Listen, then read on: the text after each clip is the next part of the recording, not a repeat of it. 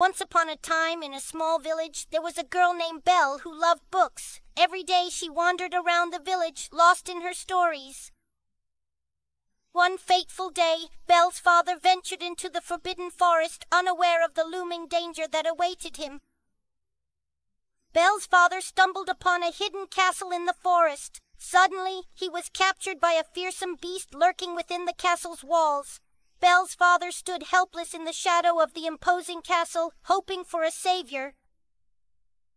Belle went in search of her father. Loyal and brave, Belle stepped forward without hesitation, volunteering to take her father's place in captivity. She stood tall with courage and resolve against the beast.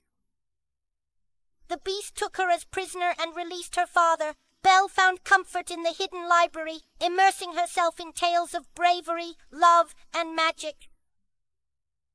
Belle noticed something special about the beast, even though he seemed scary at first.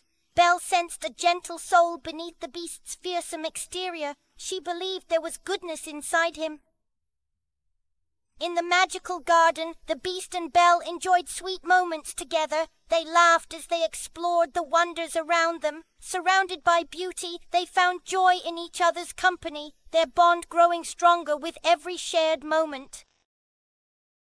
In a moment filled with love and kindness, Belle looked into the beast's eyes and saw his true beauty. With her heart full of compassion, she broke the curse that had kept him trapped in his beastly form.